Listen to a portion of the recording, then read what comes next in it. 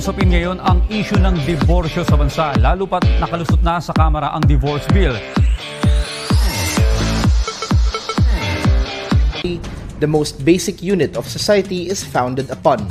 But marriage itself is not always a happy endeavor. Sometimes the relationship between spouses collapse. The reasons may vary, but the end result is clear. And what recourse is taken when a marriage can no longer be saved? Many countries turn to divorce, the dissolution of a marriage. Unlike annulment, which declares that a marriage never existed, a divorce terminates the union along with its legal duties. The Philippines does not allow divorce, partly because there is no law allowing it, and also because our Catholic upbringing holds marriage as inviolable no matter the circumstances.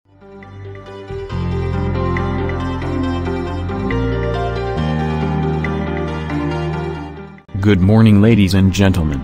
This debate will come to order. I am pleased to welcome you all to the Legal Technique and Logic Debate 2021. The topic being debated today is Should the Philippines legalize divorce? Representing the affirmative side are Ms. Sweet Pormalejo and Ms. Shara Ferran. Speaking for the opposition side are Ms. Melmalari and Ms. Alona Espeso. And I, LTL, is your moderator. For the first round, the first speaker of each group will introduce the team and point out the reason of being pro-slash-contra to the topic given. For the second round, the speakers from each group will deliver the speech to express your opinion about the topic, and the other group can give the arguments. And finally, the last speaker from each group will conclude your opinion. The third round will be question and answer session. Each group will ask a question to the other group and the other group has to answer the question. Lastly, moderator will give a conclusion from those arguments by the two teams. Now, let the first speaker from affirmative team to explain the topic. The time is yours. Thank you. Good morning. Thank you for the time given to us to participate in this debate.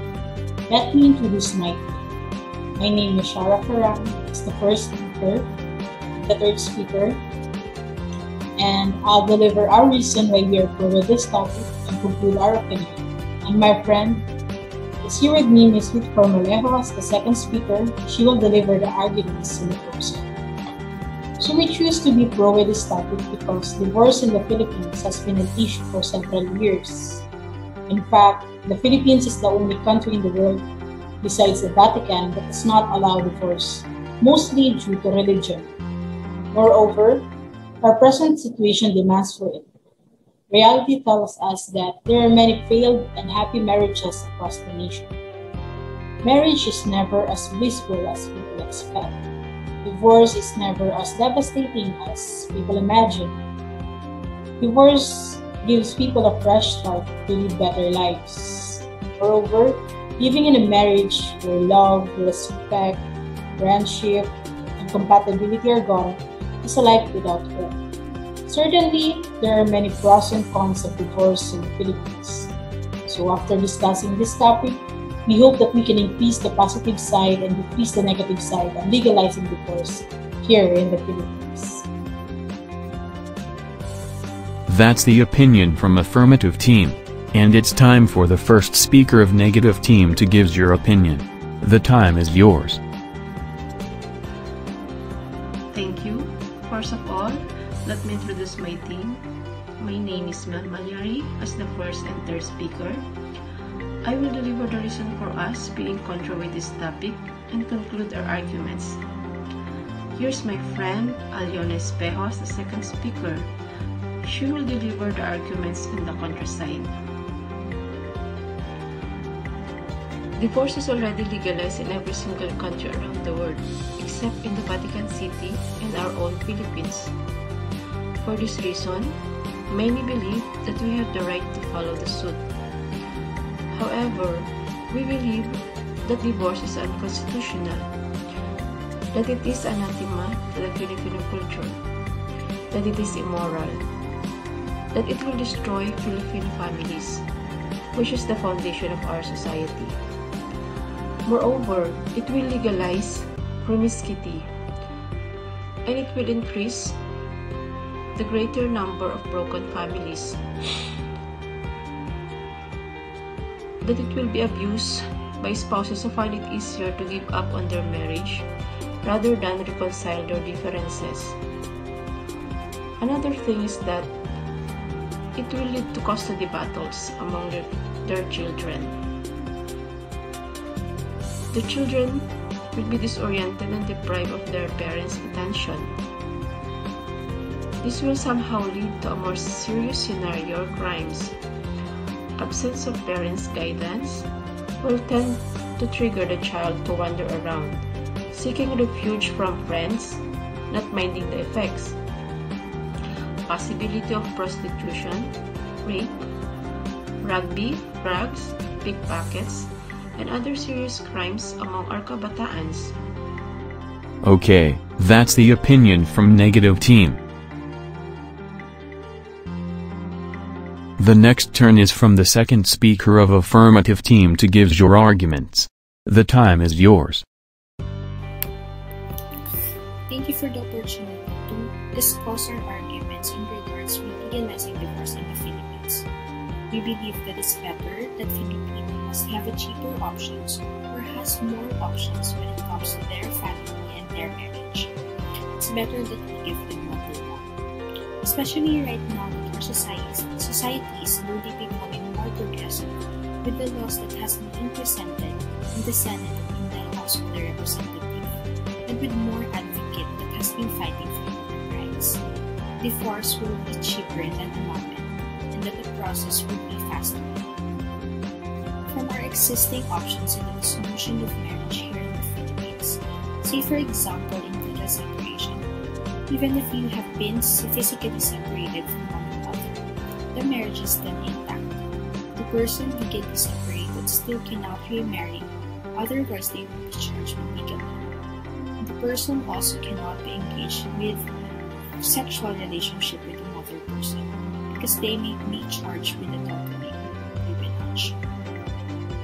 So advantage being of having a divorce law is that the person has the option to terminate a valid marriage. In other words, we're no longer husband and wife. It's not a legal separation because legal separation you can still be physically separated from each other, but the marital bond is still subsisting. This slide, if the divorce law passed, will then give them hope Filipinos, particularly women, unable to afford the cost of annulment or seeking more closure than then conveyed by legal separation. In addition, the legislator is now seeing and more hearing more facts on the issues as a growing number of victims come out and share their experiences. Filipinos who strongly believe that divorce should be legalized in the Philippines claim that the bill is pro-women legislation. That divorce is the best ex- exit for Filipinos experiencing domestic violence, abandonment, and adultery, since annulment and legal separation aren't enough to save them from the consequences of a failed union. Thank you. How about the arguments from negative team? For the second speaker of negative team, the time is yours. In our country, we have an existing constitution that protects life, promotes moral aspect, and healthy social relationship. This aims that the future generation are still influenced by our Filipino culture at a wholesome aspect. As the constitution protects life, this pertains to the well-being of a person. And and the whole being this per- this also tackles about the physical emotional and mental of a in which marriage is a big part if we are going to legalize divorce this may normalize broken families that may produce rebellious children In addition, the public, regardless of their marital status, is no more open to accept the possibility of divorce. Everyone should have the right to escape from bad marriage and be happy again. Falling into the wrong decision actually happens. If we legalize divorce in our country, people with failed marriages will be given a chance and freedom to choose the right one for them. So they will not have to suffer a marriage that is not working anymore. Moreover, there's no assurance that people who will get divorced want to find a new spouse. Every day, there are Filipinos who get married, bear children, separate, and get into relationship regardless of what the law says. The lack of divorce law in the Philippines complicates further the marital and family problems of many Filipinos. Our government is clearly failed to respond to their needs. If the country wants to move forward, it has to confront the realities of marital and family life of the Filipinos in the Philippines. Let's give other people another chance to live life with their desired happiness. The divorce law needs to be legalized in the Philippines now.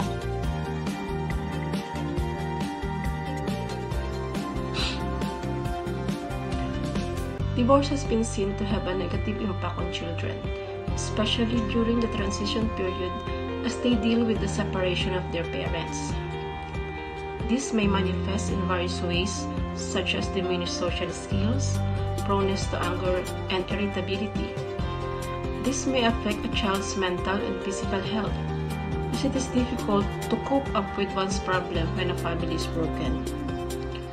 In addition, the divorce may influence a child into losing faith in the concept of family entirely, which lead to another negative effect of this process. Marriage is sacred, as what the saying says, ang pinagsama ng Diyos ay huwag paghiwalayin ng tao. First and foremost, a family should be nurturing. They should be loving. There has to be that environment that's going to keep all of the family members happy. People think that marriage is always peaceful, and that divorce is always devastating. That's not the case. Sometimes, in order for your kids to have a nurturing family environment, you have to do what's best for them.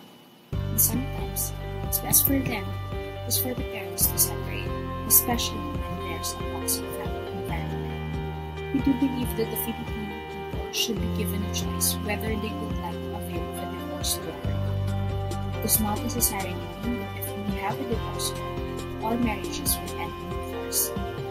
So we think it's a choice that should be given to all the Filipinos. Let's face the reality here.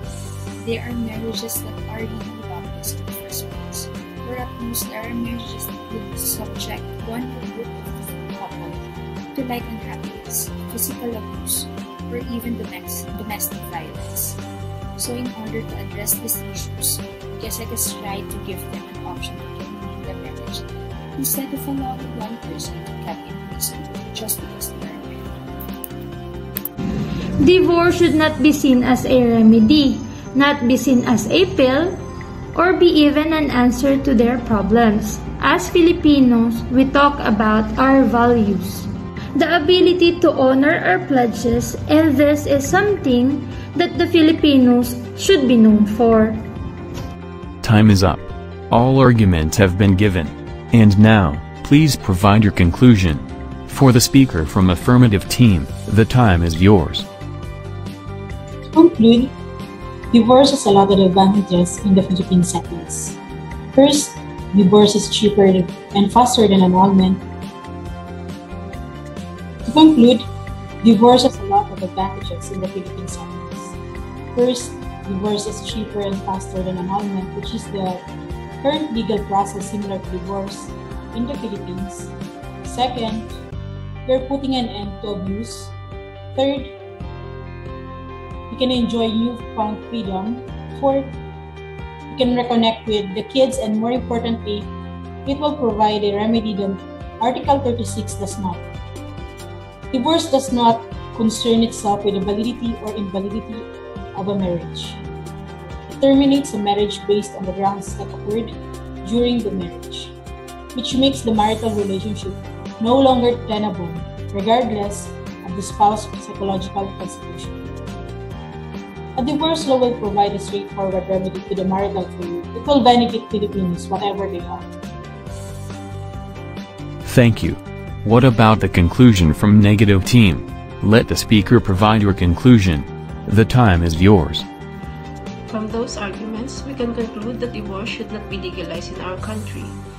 For the benefit of the children's physical, psychological, and emotional state, as well as the protection of the family. We should continue our fight against the full passage of the divorce bill. It is not yet too late to take stand for to protect the sacredness of marriage in the Filipino families.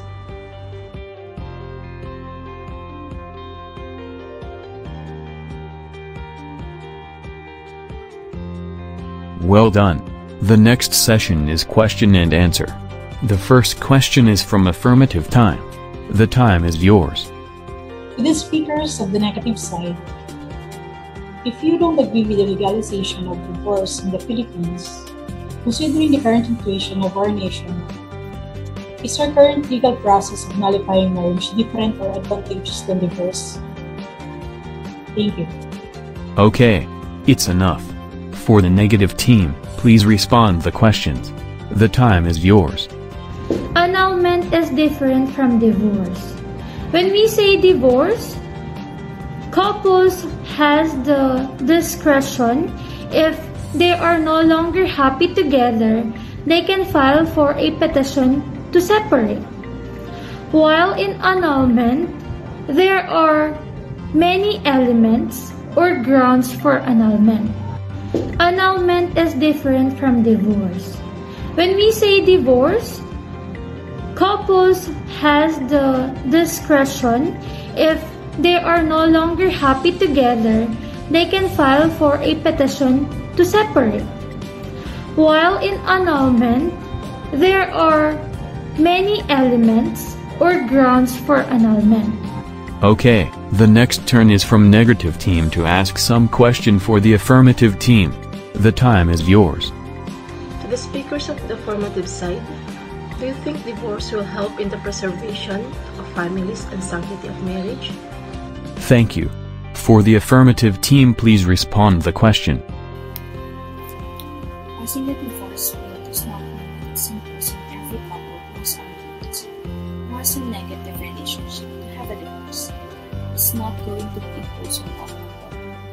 If you don't want a divorce, then don't get divorced.